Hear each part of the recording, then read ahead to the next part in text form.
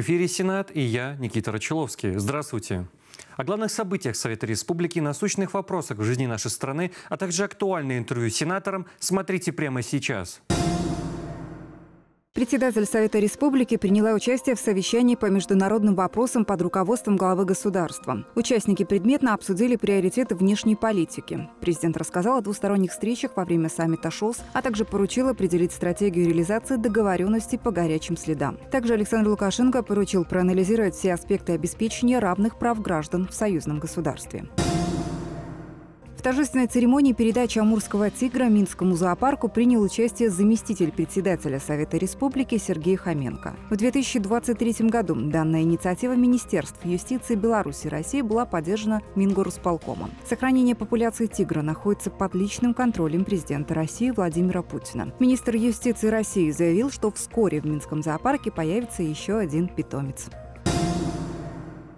Сегодня у нас в гостях член Совета Республики, первый секретарь Центрального комитета общественного объединения Белорусский республиканский союз молодежи Александр Лукьянов. Лукьянов Александр Сергеевич родился в городе Могилеве. Окончил командный инженерный институт МЧС Беларуси. Прошел переподготовку в Академии управления при президенте Республики Беларусь кандидат технических наук, доцент. Работал старшим инспектором сектора международного сотрудничества Университета гражданской защиты МЧС Беларуси, старшим преподавателем Университета гражданской защиты МЧС Беларуси, начальником отдела исследований в области ликвидации чрезвычайных ситуаций Центра научно-исследовательской работы Научно-исследовательского института пожарной безопасности и проблем чрезвычайных ситуаций МЧС Беларуси. Первый секретарь Центрального комитета общественного объединения «Белорусский республиканский союз молодежи». Награжден медалью за безупречную службу третьей степени.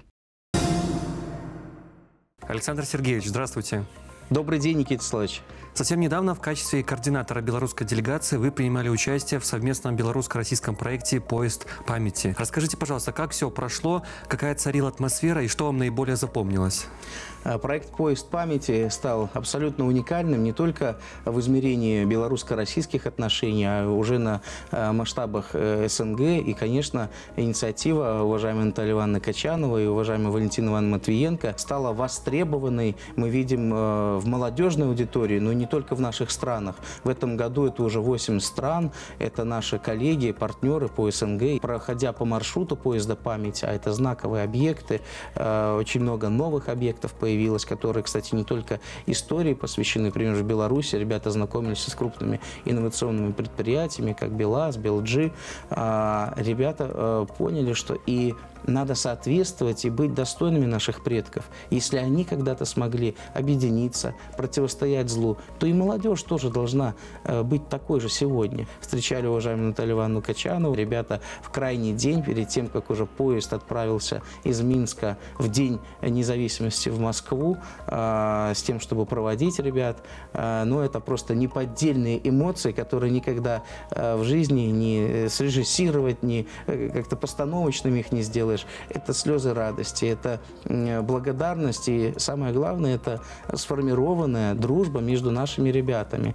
И хочу отдельно отметить э, делегацию из Республики Беларусь, те э, ребята, которые прошли конкурсный отбор, я патриот своей страны, это действительные патриоты, и это ребята, э, за которых не стыдно. И каждый вечер мы проводили по отрядам такие открытые беседы. Мы просто вместе садились с ребятами и обсуждали, ну что, как понравилось, что что было интересно, а что, может быть, надо было где-то больше акцент сделать, или вот как сделать так, чтобы, может быть, улучшить в следующем году. Я исписывал буквально на нескольких листах эти предложения от белорусов, от русских, от э, армян, азербайджанцев, от всех-всех ребят. Ты спрашиваешь у ребят, а вот, наверное, есть какой-то момент, ну, не то что обидно, что в следующем году не удастся попасть, ведь вы уже вырасте из этого возраста, уже станете одиннадцатиклассниками, уже фактически ими стали.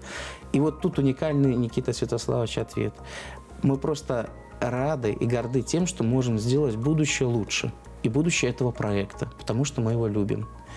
По-моему, вот это и есть смысл э, вот этого действия. Ну а каждый день практически уважаемая Наталья Ивановна Качанова мониторила, как идет ситуация, все ли детки здоровы, как настроение, как питание. Это говорит о том, что руководство нашей страны, наш уважаемый президент Александр Григорьевич Лукашенко, руководство Российской Федерации э, очень э, четко и системно отслеживают динамику развития э, сферы молодежной политики. Проект, безусловно, уникальный. Мы с большим интересом следили, с большой гордостью. Ну а те участники, кто принял участие, уже больше не сможет. Ну, следует сказать только одно. Не расстраивайся, что это закончилось, радуйся, что это было. Мы даже так, Никита Славович, сказали. Это м, поезд памяти, маршрут которого столько начался, маршрут жизни этого поезда. И пусть вот эта первая станция станет отправной точкой на пути вашего уверенного совместного будущего вместе с странами, государствами, нашими добрыми друзьями и соседями. Абсолютно уверен, что так оно и будет. 1 августа мы отметили День белорусских студенческих отрядов. Расскажите, пожалуйста, как сегодня выстроена работа студотрядовского движения и как оно видоизменилось за последние годы? 1 августа абсолютно справедливо является э, днем студотрядов, но э, в известной степени это связано с тем, что именно летом э, ребята трудятся в различных стройках. Мы гордимся теми молодыми людьми, которые провели этот праздник на рабочих местах, в том числе и в особенности у нас была акция ударного труда труда на территории патриотического центра в Брестской крепости, важнейшего инфраструктурного объекта, а, который а, находится в высокой степени готовности. И мы рассчитываем на то, что удастся вместе а, с теми подразделениями облсполкома, Министерством обороны, Министерством образования завершить эти, весь комплекс работ в этом году. И хочется отметить, что именно благодаря вот такому существенному вкладу этих ребят, молодых людей, сегодня можем говорить о преемственности э, в развитии, в сохранении как направлений молодежной политики, так и отношений к истории. Даже наш национальный лидер, уважаемый Александр Григорьевич Лукашенко, отмечал, что без школы студенческих отрядов э, в этапе его молодежного становления, когда он принимал участие в мелиоративных отрядах, наверное, как он отметил, э, он бы не был таким успешным руководителем в области агропромышленного комплекса. Надо отметить и вклад молодежи в текущую уборочную. Свыше 500 э, экипажей молодых комбайнеров сегодня активно трудятся, и это молодые люди, которые представляют различные предприятия. Так, к примеру, предприятие Кухчицы Клецкого района и Алексейчик Андрей, которые уже перевезли свыше 3000 тонн, или же комбайнеры Кукриш Евгений Жудрик Михаил, э, которые также произошли рекордные показатели по намолоту. Вот этот результат. У каждого из них на борту э, не только э, логотип Белорусского республиканского союза молодежи и отметка участника, но у них и государственные флаги. Иногда на этот комбайн подходишь, смотришь, он, знаете, как во времена Великой Отечественной войны на танке, когда наши красноармейцы ставили красные звездочки при ликвидации вражеской техники, так и здесь каждая успешная пройденная тонна, каждый успешный пройденный отрезок, для них это гордость. Причем э, комбайны иногда переходят, вот как это было у нас при посещении Кировского района, э, предприятие «Рассвет», руководителем которого является мой коллега, уважаемый Александр Иванович Багель.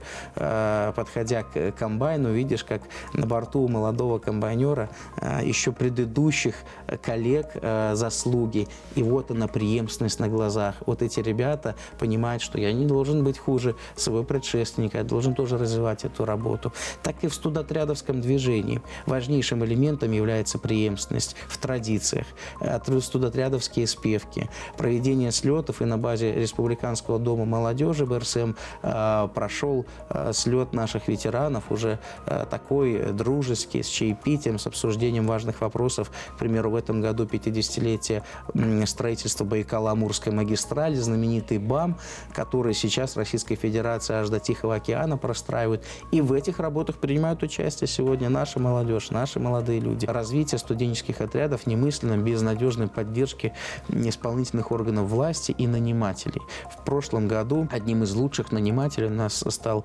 э, Минский тракторный завод, в проекте «Тракторостроитель».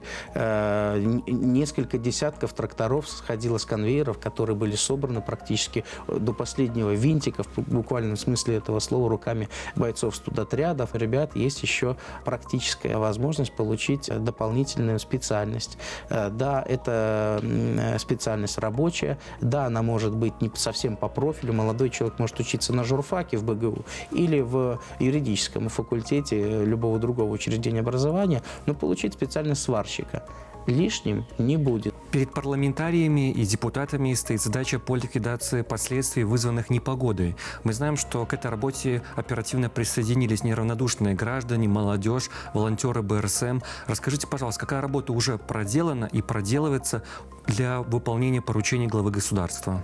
Э, прежде всего важно отметить, что для молодых людей, которые проживают э, на тех территориях, которые существенно пострадали э, в ходе прошедшего урагана, в первые же минуты, первые же часы было важно поддержать тех нуждающихся людей, и просто они не безразлично вышли на улицы для того, чтобы показать содействие. Здесь важно мобилизировать общество вокруг какой идеи.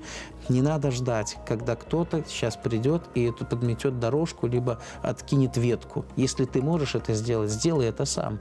Но не будь ты иждивенцем. Это важно. И вот молодые люди, которые в первые же часы откликнулись, включились в работу оперативного штаба по ликвидации последствий катастрофы. Волонтеры «Доброе сердце» – это отряд, который работает. Мы проводили даже в прямые включения. С утра до вечера велась работа, они существенно помогли. И в этой работе важно отмечать и давать обществу ориентиры, на кого стоит действительно равняться. И я, пользуясь случаем, Никита Славович, хотел бы даже э, несколько примеров провести. На прошедшей неделе простые студентки, девчонки, э, студентки э, Белорусского государственного университета физической культуры спасли утопающего. Это Городка Дарья и Кавун Анастасия, которые, являясь студентками второго курса, принимают участие в работе студенческих отрядов, в отряде «Матрос» вместе э, с нашим а свод специализированным подразделением, патрулируя акватории города Минска, спасли человека после очередного проливного урагана. А что касается Гомельской области, то мы отдельно хотели бы поблагодарить и родителей, и самого вот Спилевского Владислава, это, кстати, студент БНТУ, Семенчука Ивана и Гавинскую Анастасию. Это ребята, которые э, работают и трудятся и в Союзе молодежи, являются студентами, которые оперативно смогли не просто э, повлиять на ситуацию и помочь э, специализированным службам, а еще организовать другую молодежь. И это для нас, конечно, сегодня примеры. Действительно, очень здорово, что вы озвучили эти фамилии, назвали этих ребят, потому что они совершили большое дело, и на них нужно равняться ровесникам. Они как старший товарищ среди ровесников, если так можно сказать. Александр Сергеевич, большое вам спасибо за вашу работу и за наше интервью. Уважаемый Никита Славович, я тоже хочу вас поблагодарить и поблагодарить за тот импульс, который вы придали в работе молодежного парламента в целом. Большое спасибо, Александр Сергеевич. Гостем нашей студии был член Совета Республики, первый секретарь Центрального комитета общественного объединения «Белорусский республиканский союз молодежи» Александр Лукьянов.